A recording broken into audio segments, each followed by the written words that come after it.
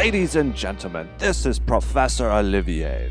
Come with me and my DS 106 friends and discover sights and sounds and wonders no student has ever set their eyes on. We take our leave of civilization and begin our journey to the center of the internet at the URL ds106.us. There, we will begin our perilous descent into the digital unknown. You'll pioneer with us through countless blog posts and comments.